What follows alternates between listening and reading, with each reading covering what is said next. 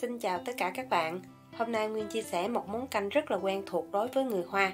Đây là món canh cải khô nấu đầu cá chép khô với lại đậu hũ.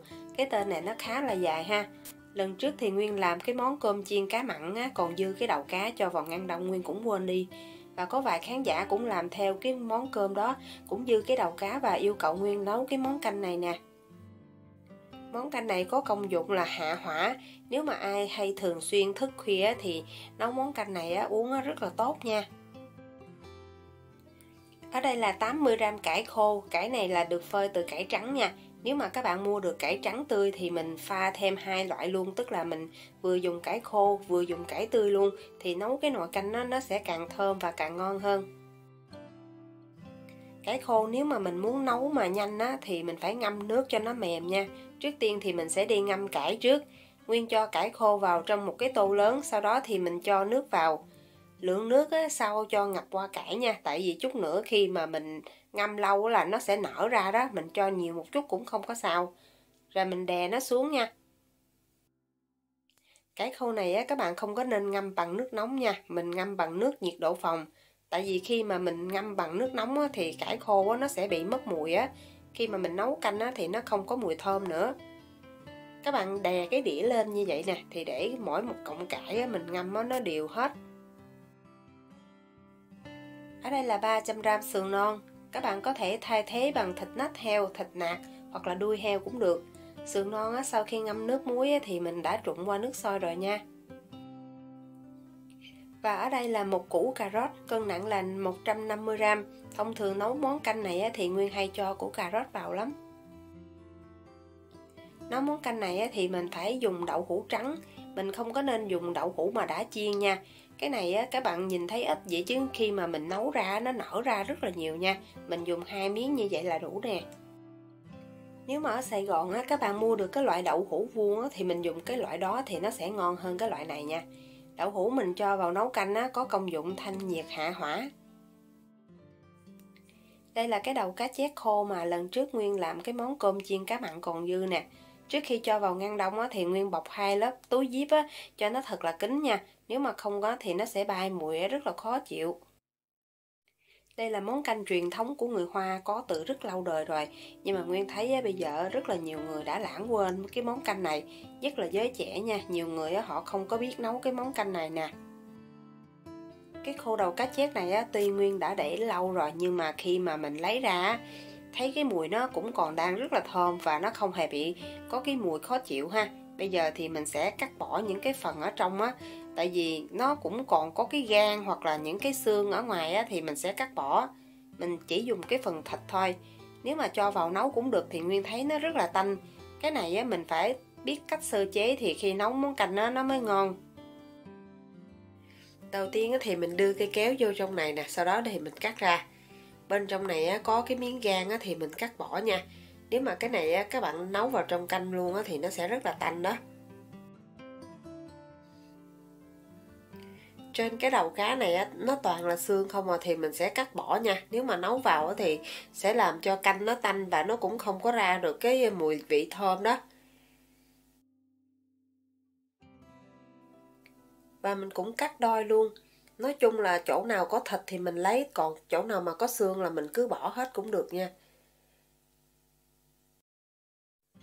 Trong xương cá nếu mà các bạn thấy nó có cái nâu đen này thì mình lấy cân dao á, mình lấy bỏ nó ra nha. Cái này là máu cá thì nấu vào sẽ rất là tanh đó. Bây giờ thì mình sẽ mang đi rửa lại. Tại vì cá này á, chút nữa mình phải chiên cho nên khi rửa xong á, các bạn dùng giấy bếp á, lau cho nó thiệt là khô nha nếu không lau á, cho vào chảo thì nó sẽ bị văng dầu. Tại vì cái dầu này sau khi chiên cá là mình bỏ luôn á, cho nên mình dùng cái chảo nhỏ và cho vào một ít dầu thôi. Sau khi làm nóng chảo rồi thì mình cho dầu vào và mình cho cá vào mình chiên sơ. Chiên cho nó thơm á, rồi mình lấy ra để mình nấu canh như vậy thì nồi canh nó rất là thơm và đồng thời nó không có bị tanh á.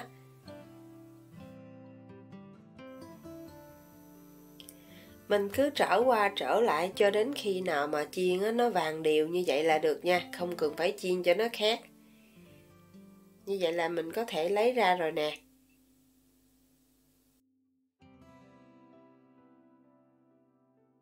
Cái khô này á, nguyên ngâm được 60 phút rồi bây giờ mình sẽ lấy cái đĩa ra. Mình ngâm cho đến khi nào mà nó ra cái màu vàng á, và nó thấm nước như vậy là được rồi nè chút nữa lúc mà mình nấu á, sẽ rút ngắn cái thời gian lại và nấu cải khô nó rất là thơm. Cái này các bạn cũng không có ngâm lâu quá. Nếu mà ngâm lâu quá thì nó sẽ bị mất cái mùi thơm á.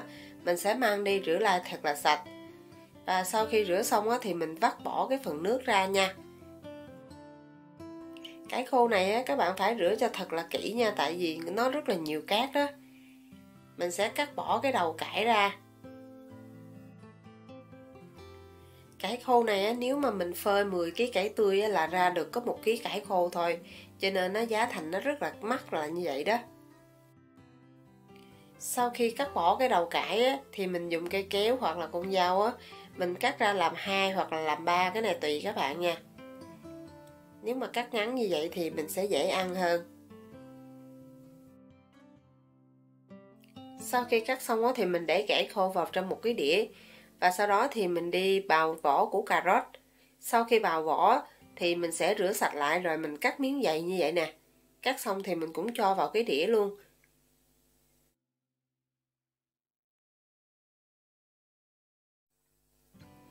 Còn đậu hũ thì sơ chế rất là đơn giản, chỉ cần mình cắt ra làm tư là được. Như vậy là hai miếng đậu hũ là mình có 8 miếng. Nguyên liệu đã chuẩn bị xong hết rồi thì bây giờ mình cho hết vào trong nồi nha. Còn sườn non thì lúc nãy á, Nguyên cũng đã trụng nước sôi rồi. Mình cho luôn đậu hũ với lại đậu cá mà mình mới chiên á, cho vào luôn nha. Với nguyên liệu này á, thì Nguyên sẽ nấu 4 lít nước. Nếu mà các bạn muốn nấu nhiều hơn thì cũng không có sao nha, tại vì khi nấu xong á, thì Nguyên thấy cũng rất là đậm á. Nấu canh này thì mình phải cho gừng vào nha, tại vì lúc nãy Nguyên cho vào mà quên bấm máy rồi. Mình cho từ 1 cho đến 2 miếng mỏng là được. Nấu cái nước canh này nó sôi rồi á, thí dụ có bọt á, thì các bạn vớt sạch đi. Cái khô này á, do mình cũng ngâm cho nó nở rồi cho nên thời gian nấu á, sẽ rút ngắn lại. Mình sẽ nấu một tiếng nha. Nếu mà cái khô mình chỉ rửa sơ và mình nấu luôn á, thì mình phải nấu tiếng rưỡi còn nếu như mà các bạn nấu bằng nồi áp suất á, thì mình chỉ nấu 30 phút là được. Bây giờ canh đã sôi rồi thì mình sẽ đậy nắp lại và mình hạ lửa trung bình thấp mình nấu nha. Sau một tiếng thì mình dỡ nắp ra nha. Bây giờ thì ngửi thấy cái mùi cải khô rất là thơm đồng thời thoang thoảng mùi khô cá rất là dễ chịu và món canh này đặc biệt là mình không cần phải nêm nếm nha. Các bạn thử lại, nếu mà cảm thấy có vị mặn rồi thì thôi mình không cần phải nêm muối. Tại vì đầu cá nó cũng có cái vị mặn á. Và sau khi nồi canh này nấu xong á, cái đầu cá mình gấp ra mình bỏ luôn. Chất mặn thì nó sẽ ra từ đầu cá, cho nên nguyên lúc nãy thử lại canh này nó cũng có vị mặn nhẹ thôi. Nếu mà các bạn cảm thấy nó hơi nhạt thì mình cho thêm một ít muối và mình có thể dằn thêm một ít đường cho nó ngon.